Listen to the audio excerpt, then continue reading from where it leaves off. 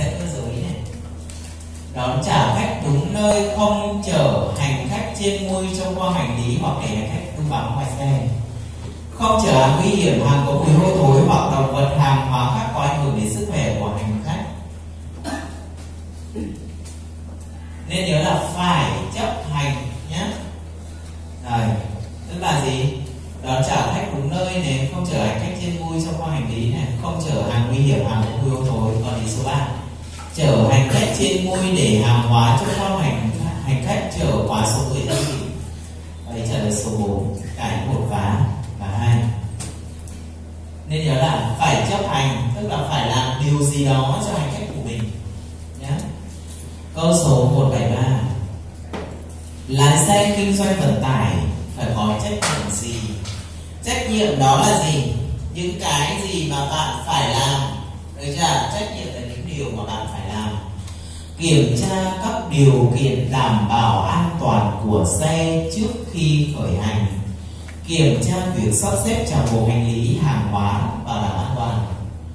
Được đóng cửa lên xuống của xe trước và trong khi xe chạy. Đón trả khách tại vị trí do khách hàng yêu cầu, nên nhớ rằng chúng ta phải đón trả khách đúng nơi. Được chưa? Chứ không phải là theo vậy trả lời số 4 cả 1 và 2 chúng ta chọn 4 sáng 174 Người kinh doanh vận tải hành khách có những quyền hạn nào dưới đây? Quyền hạn tức là họ được làm những điều gì? Thì đương nhiên phải được làm những điều mà pháp luật không cấm hoặc là những điều không phải là những điều sai trái, đúng không? Họ có được tự ý thay đổi vị trí đón trả khách theo hợp đồng vận chuyển hay không? Đương nhiên là không từ chối vận chuyển trước khi phương tiện rời đến rời vị trí đón trả khách theo hợp đồng vận chuyển, những người đã có vé hoặc trong danh sách hợp đồng có hành vi gây rối trật tự công cộng, gây cản trở công việc kinh doanh vận tải, ảnh hưởng đến sức khỏe, tài sản của người khác, gian lận vé hoặc hành khách đang bị dịch bệnh và ý xả lời số 3 và cả ý 1 và 2 chúng ta chọn ý nào? Ý số 2 thôi. Chứ họ không được tự ý thay đổi vị trí đón trả khách nhé. Ý trả lời số 2 sang câu 175 hành khách có các quyền gì khi đi trên xe ô tô vận tải theo tuyến cố định và chúng ta có một cái định mức về hàng hóa mà được mang theo? Đó là không được vượt quá 20 kg. Được chưa? Còn ý số 2 là 50 kg này, chúng ta hãy lựa chọn ý số 1 20 kg. Sang câu số 176 hành khách có các nghĩa vụ gì khi đi trên ô tô vận tải hành khách? Nghĩa vụ tức là chúng ta tham gia vào cái dịch vụ đó, chúng ta phải làm gì? Ví dụ như là chúng ta mua vé và trả cước phí. Đúng không? Chúng ta không được mang theo những cái hàng hóa mà pháp luật cấm lưu thông ở đây này mua vé và trả cước phí vận tải hành lý theo à, mang theo quá mức quy định. Có mặt tại nơi xuất phát đúng thời gian thỏa thuận chấp hành quy định về vận chuyển thực hiện đúng hướng dẫn của lái xe nhân viên phục vụ trên xe về các quy định đảm bảo trật tự an toàn. Hai được mang theo hành lý hàng hóa mà pháp luật cấm lưu thông khi đã trả cước phí được không? Không vậy chọn chỉ số một nhé.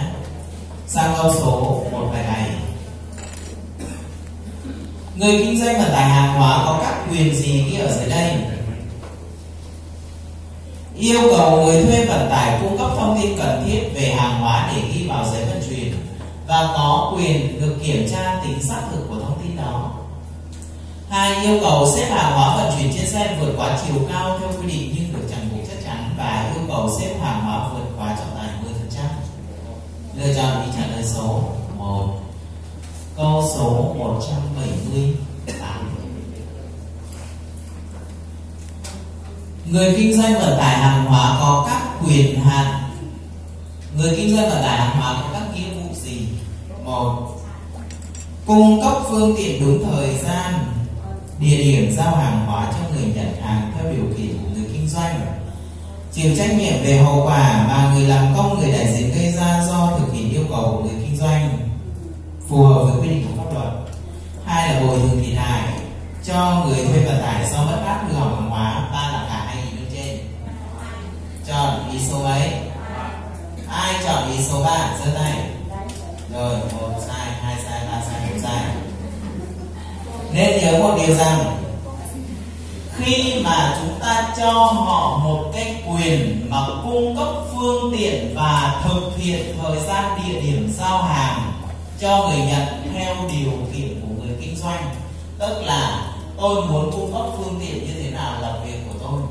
Tôi muốn giao hàng lúc mấy giờ đến trễ hay sớm, đó là việc của tôi. Thì cái điều đó là không đúng, nhá. Ở đây chúng ta nên nhớ này, họ nói là cung cấp phương tiện và thực hiện thời gian địa điểm giao hàng theo điều kiện của người kinh doanh vận tải tức là muốn làm đến đâu thì đến được chưa vậy chỉ chọn ý số 2 sang câu số 179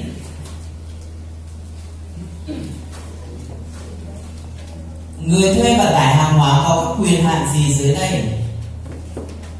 Chúng ta được quyền từ chối xếp hàng hóa lên phương tiện mà phương tiện đó không đúng thỏa thuận trong hợp đồng.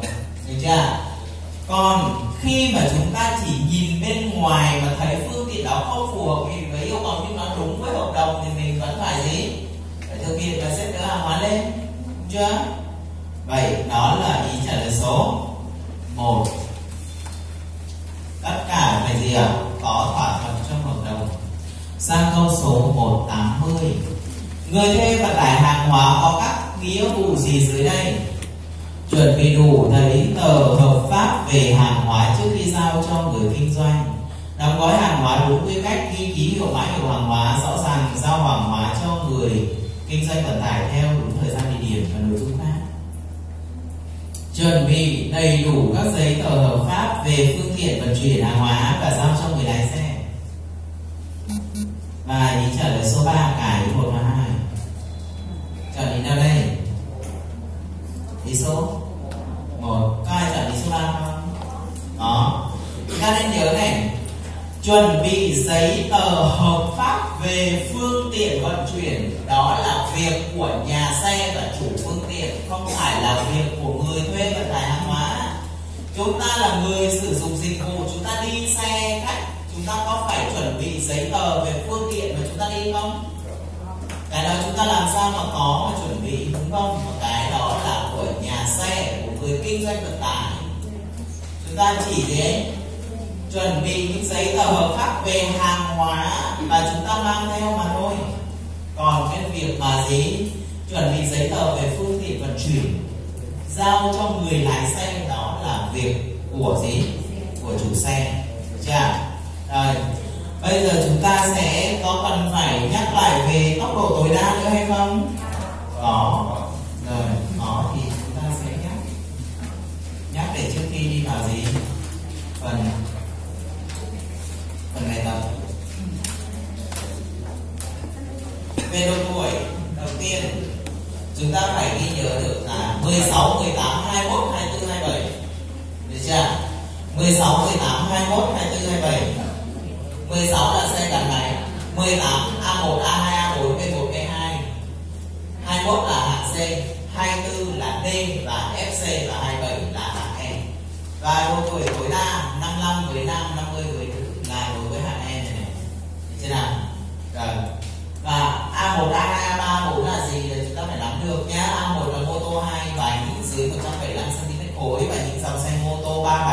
cho người khuyết tật.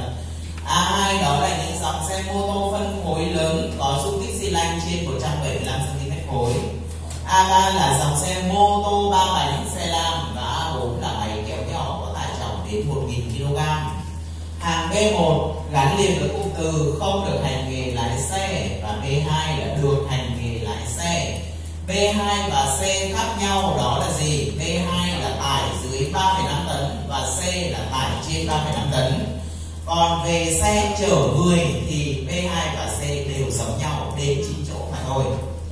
Rồi chuyển sang hàng D.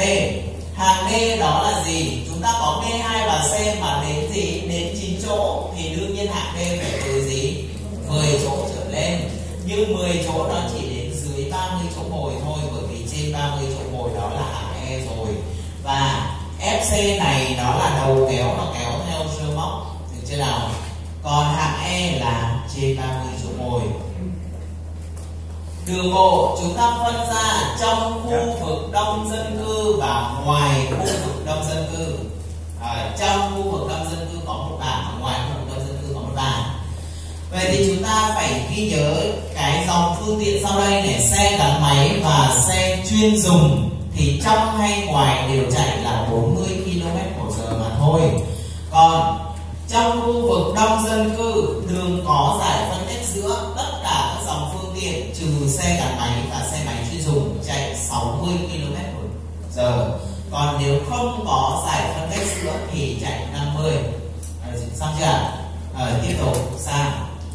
Đường ngoài khu vực đông dân cư. Đường ngoài khu vực đông dân cư chúng ta cũng chia ra là có giải phân cách hay không có.